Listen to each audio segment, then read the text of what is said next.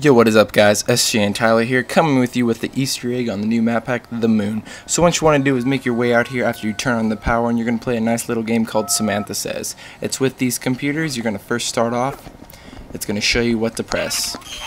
As you friend, it says you press the red button first. It's going to first do a good little quick through, and then you start.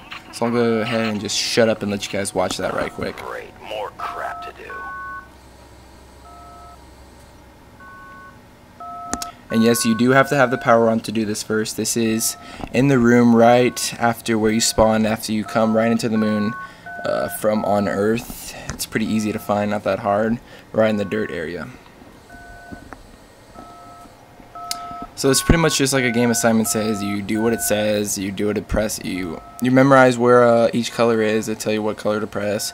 Green, blue, blah blah blah. You guys get the picture.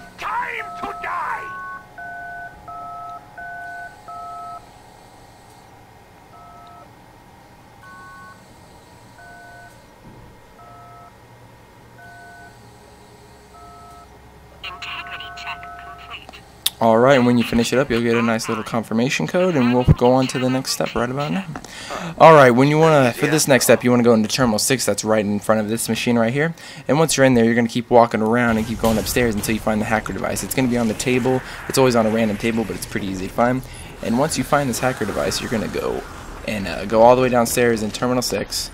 And you're going to see four buttons on the wall, and it says to hack uh, press and hold to hack for 500 points.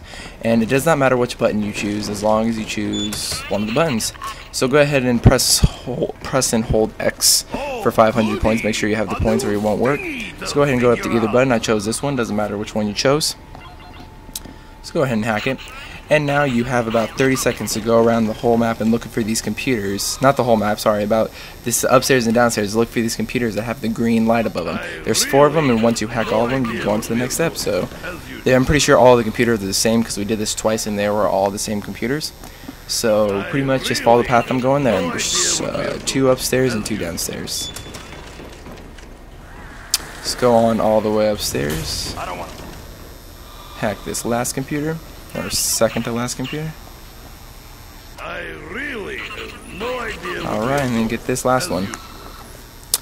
Alright, now once you're done with this last computer, you want to go back downstairs to the four buttons you, uh, one of the buttons you hacked in the first place. And now, if you did this correctly, they'll all be lighting up. Or not, sorry, they won't be lighting up. They'll all just have a little button that you can press. So what you want to do is make your way back downstairs.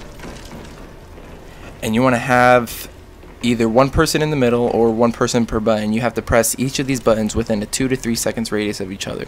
So we had it to where we had three people. One person in the middle does two buttons, and uh, each person has an outer button.